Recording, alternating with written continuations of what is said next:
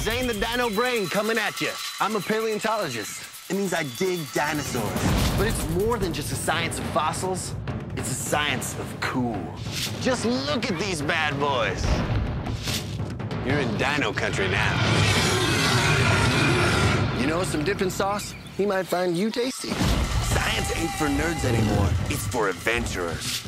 Ogden's George S. Eccles Dinosaur Park. We got cool down to a science.